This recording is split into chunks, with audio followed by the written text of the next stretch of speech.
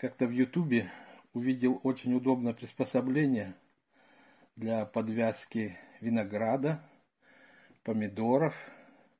Не знаю, как оно называется. Ну, я бы его назвал степлер. Я посмотрел, как оно устроено. Очень удобное, но цена для меня, для пенсионера, может и для других людей, как бы не совсем оправданная. Это если кто-то профессионально занимается, то там, конечно, ему есть смысл купить такой пользоваться. Ну, когда я посмотрел, в чем смысл заключается, я решил, что можно самому сделать такое приспособление. Назовем его так, степлер назовем. Если у вас, конечно, имеется степлер. У меня он степлер имеется. Вот разная есть. Вот эта вот лента от э, торт была упакована, мягкая, ну прочная, хорошая лента.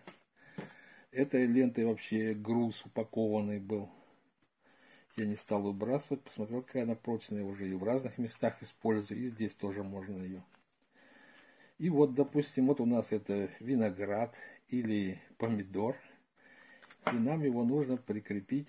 Вот, допустим, здесь у нас или веревочка натянута, или забитый колышек.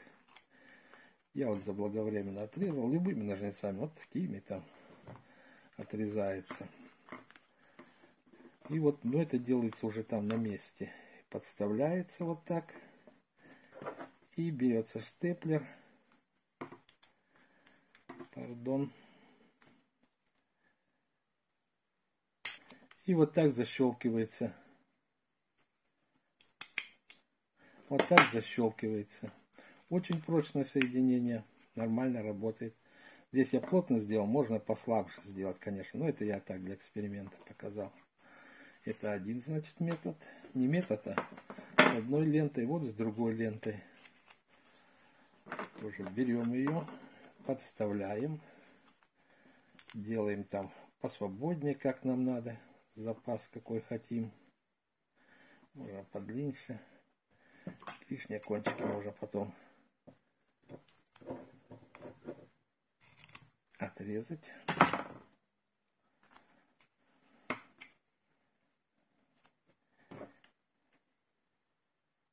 И степлем вот так ее скрепляем. Все работает, держит. Вот у меня на такую ленту прикреплен виноград. Здесь вот тоже, здесь временное крепление, поэтому эта лента пойдет. Специально тут делать что-то не стоит, потому что вот у нас сезон отстоит, я потом ее прикреплю к другой. Пока так. Вот у меня на это на прочную прикреплено здесь. Здесь вот тоже серой трубе, она хорошо смотрится так. Здесь вот тоже есть закреплено. Удобно, быстро и красиво.